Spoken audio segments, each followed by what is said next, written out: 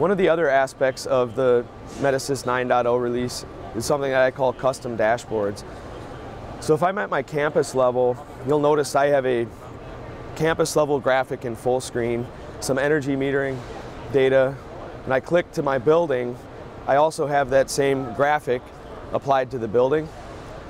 But if I go to the floor, you'll notice I have a different set of dashboard layouts for the floor versus the building and campus level through our custom dashboard feature. So having the ability to tailor the interface uh, based on what type of space or what type of equipment,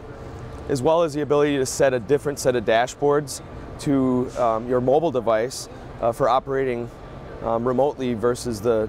uh, laptop and desktop experience.